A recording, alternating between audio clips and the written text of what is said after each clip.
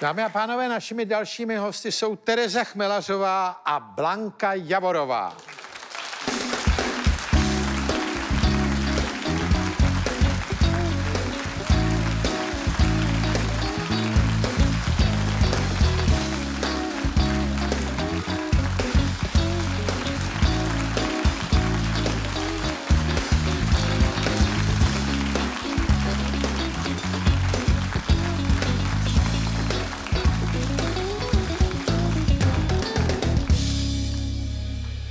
Dámy, nerad bych to řekl nepřesně, můžu říct, že jste ceremoniářky?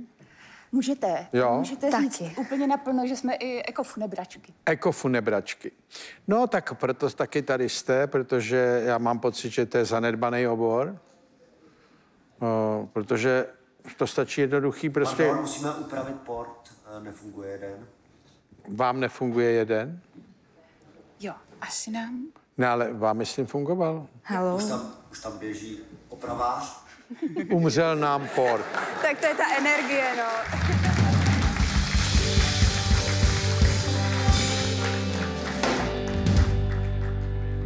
Mně nefunguje, jo. Já budu mít takhle mikrofon. Počkejte, já vám ho zapnu. Tak to je pro vás. My jsme teď zjistili, že tenhle umřel. A mně to funguje. No a vám to funguje. Jo, já se slyším. Ale takže ekofunebračky můžeme říct, že jste? Přesně. Což znamená hledat ekologický způsob pohřbívání a vůbec modernizaci pohřbívání, ne?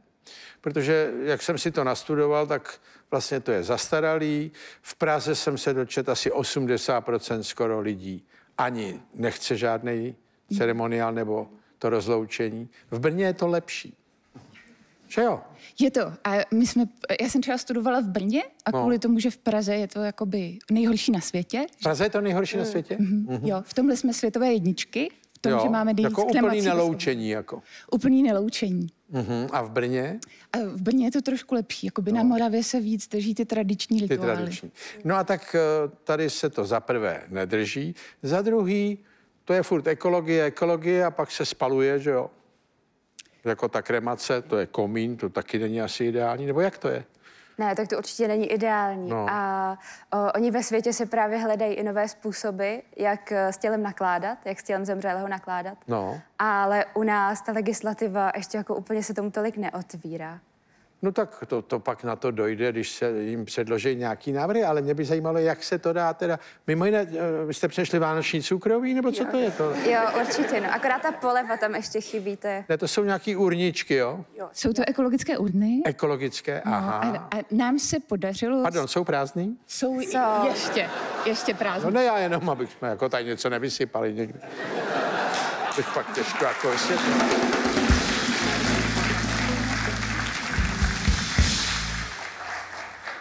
My vám můžeme říct, k čemu je tak používáme. Prosím. A, tak nám Já se... to teda tuším, Že jo? Vy to tušíte. Ale nevíte to jistě. ale nevím to dobře, nebo přesně. Jo, tak nám se podařilo se zprávou pražských hřbitovů, díky osvícenému magistrátu a díky osvícenému řediteli zprávy pražských hřbitovů eh, založit les vzpomínek. Ale vzpomínek. Což je takový jako první český přírodní hřbitov, kde ukládáme popel eh, zemřelých ke kořenům stromů. Ke kořenu, no a tak ke kořenům stromu to se dělá další dobu, ale tak jako eh, individuálně bych řekl. Jo, jako by má to určitou tradici, ale my to vlastně děláme fakt jako Aby se to, oficiálně. jo, a, takový, a taky, aby lidi o tom věděli, že se to dá takhle. Jo, ale, ale zároveň je, je skvělý, že to říkáte, jakoby, že není nutný se vázat jenom na les vzpomínek, ale no. Je skvělý, když pozůstalí prostě uloží popel třeba u sebe na zahradě a vysadí na něj Já strom. jsem říkal, vždycky jsem nechal dát ohromnou hrobku, že to dám do posledního přání, mm-hmm. že chci uprostřed zahrady ohromnou hrobku, abych to, abych to zalehnul takzvaně. ne, ale tak tohle, co vy říkáte, že si můžou rozptýlit to někde na svém pozemku. No, ale to myslím, že už taky u nás lidi dělají, ne? Dělají, ale právě v lese vzpomínek, aby jsme se vrátili zase k těm No. urnám, je možné ukládat buď popel ke kořenům stromů, anebo právě ten popel může být uložený v rozložitelné urně. Může být v rozložitelné urně, takže on se Právě. rozloží i s tou urnou. Právě to je, a to je tahle urna? Ano, to je vlastně papírová... Můžu se ani podívat trošku, abych si ji rád proklep trošku? Můžete no, si osahat. Honky. No tak on je to papír právě, aby se... To je papír, mm, takže to jde rychle. Se hmm. No a tak oni jsou lidi, kteří to chtějí zachovat delší dobu, že jo? Jste chtěl větší. To bude vaše velikost tady tahle. Ale ta barva... Dobre,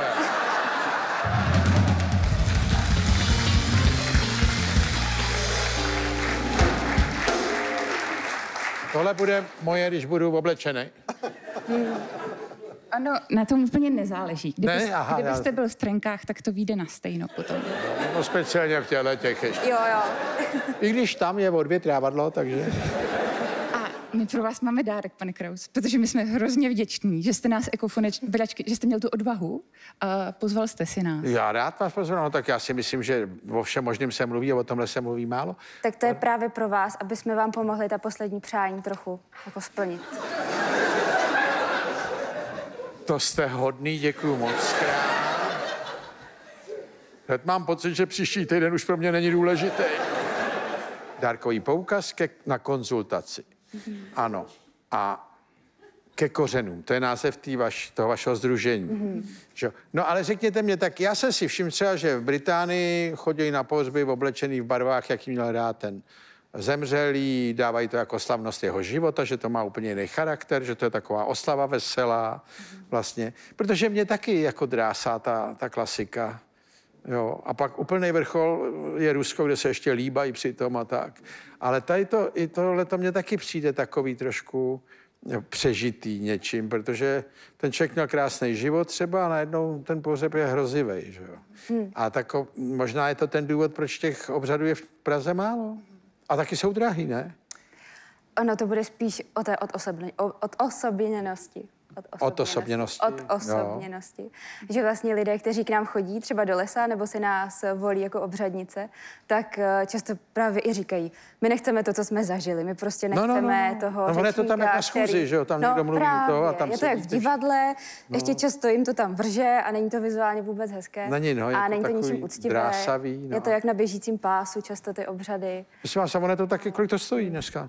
Ty obřady? No, jako celý pohřeb. Tak ono Jako- záleží, jaký balíček si vybere. Přesně, no. A jaký balíčky jsou? Jako, jako v těch klasických mě pohřebních Ne, službách a tam jaký máte jsou balíčky? ty, balíčky, Základní no. nějaký package takový? Tak ono se říká, že ten jako z těch levnějších, nebo ten nejlevnější základní je tak těch 15 tisíc. 15 To je ta 000 je kremace. základní, jo? No co je ta kremace bez obřadu, protože tam máte manipulaci s tělem, převoz. Jo, to znamená, že to proběhne úplně bez lidí. Právě, Jenom, právě. to je 15 tisíc, jo. A takový s váma třeba, že by to bylo nazdobený trošku. A... Jo. Ky... My v tomhle máme podobné ceny, jako je takový jako český pohřební průměr. Jakože to je 20 až 25 tisíc. Ano. Až na to, že s náma jakoby dáte ty peníze do jiných věcí. Jakože investujete, investujete jinak, aby ten pohřeb byl smysluplný. Že třeba místo toho, abyste prostě měl uh, spoustu velkých věnců, který stojí hromadu peněz, tak dáte peníze právě za práci obřadnice, která vám pomůže ten obřad udělat vážně jako osobitý a hezký. A jaký je ten trend jako dál, ten eko? Řekněte Hezký, mi. že se ptáte. Protože my teďka uh, pohřbíváme popel ke kořenům Ano. a pak zpráva Pražských hřbitovů chystá takový projekt Louka vzpomínek, kde se budou pohřbívat celý neboštíci nespopelnění. Jako na louce někde? Na Louce, no. A jak jako? Vedle lesa vzpomínek, je to součástí hřbitova. Jako tam budou ležet těla lidí? Nebo? Jo, jo, ale budou... Jo, takovou- Ne, budou normálně pohřbení samozřejmě. Jako budou pohřbeny. Já myslím, že budou volně položený. Jenom. Ne, bude to do díry. Protože já bych si hned poznamenal, kde to bude, abych tam jako náhodou nezabloudil třeba s vnoučatama, že? Co to je? To jsou mrtví na louce vzpomínek. ne, takže jako pohřbený. Ano. No ale ten trend toho pohřbívání taky do země, tak to je problém, že jo? Hřbitovy jsou drahý, místo tam není, nájem se tam platí. No a jaký je v tom trend? Jakoby myslíte cenový trend? Ne Anebo cenový, jako pohřbívání, no ne, tak hrob je taky problém. Kremace, to je Jo, problém. ale i ten hrob jde udělat tak, aby problém nebyl. No. Když jak? teda máte dost místa, což by mohl být v Čechách problém. No. Ale jde to udělat tak, že třeba uděláte nižší výkopovou hloubku pro to tělo, protože u nás si vlastně tělo dává jako zbytečně hluboko. Zbytečně hluboko. No ale zase Právě- nesmí to být moc mělký. Ne, ale můžete Takže být pak- určitě Tati, jako, proč to tady tak jako pruží? Tak normálně taky po hrobech nechodíte, i když jsou metr No 50 nechodím, ale takhle, když není vidět, kde je, nebo to... Ale to je další věc, to právě, že to není vidět, jak se tam dávají ty kameny, tak to je další problém, ten velký kámen. jo. Ale právě na těch přírodních hřbitovech se buď to na vrch na zemřelého nebo jako na tu mohylu může zasadit strom, což bývá typické v Británii, a nebo třeba tady u nás by mohla být volba vysazení lučních květů. Že jakoby poznáte, kde ten neboštík leží, je, ale je to ale nebude právě a bude to takové víc jako v přirozeném zase řádu. A takové jako příjemné, že třeba do lesa často lidé chodí i tak jako raději než na ty klasické hřbitovy. No tak No, že vlastně říkají, my se sem jdeme projít, jdeme zaspomínat. Zaspomínat. A- No ale tak to je takový trend směrem k tomu přírodnímu pohřbívání. Hmm. No já jsem totiž někde čet, že vlastně úplný ideál je kompostování. Jej, jsme tam. Je to tak? Jo, my jsme si no. mysleli, že nás zavedete do kompostu. jo. Jo. Ono jako vlastně... Ne, mě to zaujalo, protože jsem jako první, co mě napadlo, jak jdu s někde s tělem a říkají, dej to, ne, dej ho doleva takhle, protože a tam jsou ty švestky a tam, je, tam nejde slunce nebo takový.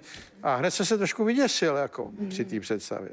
Ne, ono právě se teď jakoby hledají nové uh, možnosti, jak No. Jakoby najít nějakou alternativu ke kremaci, což ne, neznamená jako úplně nahradit kremaci, Ano, ano. ale nabídnout nějakou novou možnost. A na západě, v Americe, jsou vlastně ty čtyři státy, kde už je tohle kompostování, kterému se říká třeba i teramace, je vlastně už dovolené. Ale není to tak, jak si třeba představíte, že my, jak jsme ten národ zahrádkářů, No že má právě, každý no. ten kompost na té zahradě, tak No. to samozřejmě A že se mi to neprobíhá. ještě míchá se zeleninou, No, tak- že jo? To neprobíhá tímhle způsobem. Ne. To jsou vlastně takové jako docela jako high-tech zařízení. High-tech. High-tech, že to můžou být i takové jako designově zajímavé prostory, kde vlastně každé to tělo je uložené ve vlastní uh, takové koji a tam prostě vlastně jenom probíhá zrychlené, hm, zrychlené tlení. ono tam je vidět do toho? Naprosto přirozeně. Mm, to není. To není. No, protože to by mě... Ne, ono to tělo se vlastně zasype. tam vždycky- Nevidíte. Ne, není to jako v kremační peci, kam se můžete podívat. No to taky ne. ne. Ne, tak eh, já jsem velký zastáncem toho, aby to bylo optimističtější, mm. protože to je nervy drásající, Jo. že jo, to, co je. Druhá věc je, že všechno se řeší ekologie a utánem, co všechno na pohřebnictví se kašle. No, A když říkáte, že 80% lidí v Praze tedy to ani nedělá, tak z toho je vidět, že pro lidi je to něco odtažitýho, asi ne. Právě, a je to škoda. Prosím vás, a eh, co stojí tahle ta urnička? Tahle stojí teď, myslím, že jsme zvedali ceny jako všichni. Zvedali jste, jo? Ale nepamatujeme si ještě. A já myslím, že teďka je za 1800. Jo. Je to ruční práce. Je, To je ruční práce? Aha, je to vyráběno v České republice a je to originální design. No, no. A ještě tím přispíváte, tím, že si to koupíte, a tak tím přispíváte na naší organizaci, protože my jsme neziskovka. Tak aby jsme mohli dělat osvětu, tak prodáváme urny. Mhm. Je nějaká větší ještě než je ta? No tak tahle stojí o 1800 a kolik stojí tahle? Tahle stojí 2400. A je nějaká větší ještě? Ne, ale je pravda, že lidé si přejí třeba být pohřbeni se svými mazlíčky, takže to by mohl být takový jako nápad pro nás ještě dělat uh, jakoby pro lidi plus mazlíčky. Nebo někdy chtějí být lidé spolu. Jakoby když třeba vám zemře babička a má ve skříni ještě dědečka. Já vím, ale To se stává. Jež má plnou... Tak bychom mohli mít ještě dvojurnu. No, otevře skříň a řekne ahoj rodino, takže... Ale jako tam je vždycky problém pro toho zemřelýho, jak to zkontrolovat, že jo? To je takový problém, on si něco přeje. No. Řeknu, prostě on byl šílený, vykašli se na to. Kde jsou ty prachy? Ale A to je právě hrozně důležitý, abyste o tom mluvil s co nejvíce lidma, protože čím více lidem vy řeknete, jak to chcete, nebo naopak nechcete, tak tím spíš pak bude větší komunita těch, kteří budou říkat, ne, on to chtěl takhle, takhle no on to chtěl, ale uděláme." to právně pak nejde, jako... Oni budou říkat, ale co říkají nějaký dvě ceremoniářky. Tady máme soudní, právní a tohle. A tohle to, když přijdu na tu konzultaci, hmm. prosím vás, budeme konzultovat eh, co? No, vá, váš pohřeb. Můj pohřeb. Ano. Tak to asi příští týden nestihnu. To budeme konzultovat můj pohřeb, aha. Možná dám někomu jako dárek. Je to přenosný. Jo, jo, samozřejmě. budou Vánoce. Honzo! Možná po té premiéře. Teď se bojím, že jsem to dokonce dostal, ty urny od vás, že jo? Ne, tak pro mě je to trošku škoda, protože No. já teď ještě jdu na nějakou večeři, představa, že jdu na večeři. No, dobrý den, můžu si to sem dát? Oni řeknou, jo, my vám tam dáme kytičku a řeknu, to ne, to by se rozpustilo. Tak to vás neurazí, když si je když tak nevezmu. My jsme vám je ani nechtěli dát. Tereza Chmelařová, Blanka Javorová.